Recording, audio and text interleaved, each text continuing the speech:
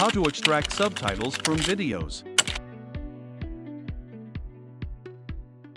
Trying to extract the subtitle without affecting the video? Don't want to use a complicated command line tool? Which subtitle format to keep? Everything you worried about and every error you used to meet will be solved here. In this tutorial, we will show you easy steps to extract subtitles from MKV. It also works for MP4, AVI, VOB, and any video with subtitles in it.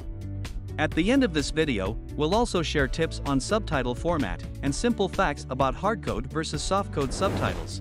Let's extract the subtitles now. We will use an easy and fast subtitle extractor, VideoProc Converter.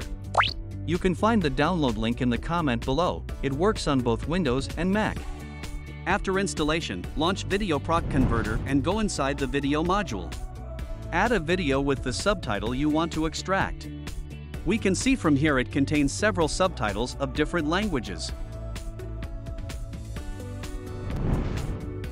Go to Toolbox and find the Export Subtitle feature.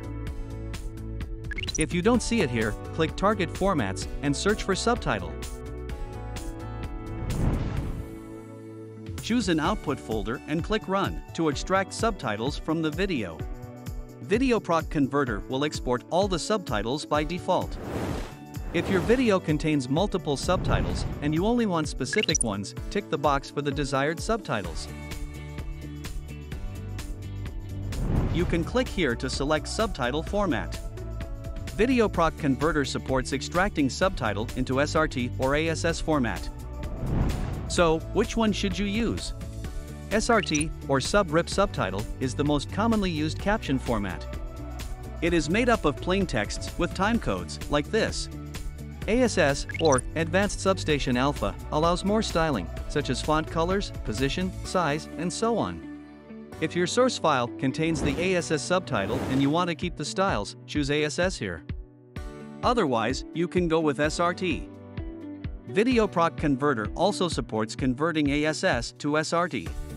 What if you don't see any subtitles here while the video does have text captions visually? That's because the source video contains the so-called hardcode subtitles, meaning the text is burned onto the footage and becomes part of the pixels. On the contrary, extractable subtitles are softcode subtitles. They are wrapped into the video container, together with video and audio streams. That's all for today. Leave a comment below to let us know if it helps. Please subscribe and stay tuned. See you in the next video.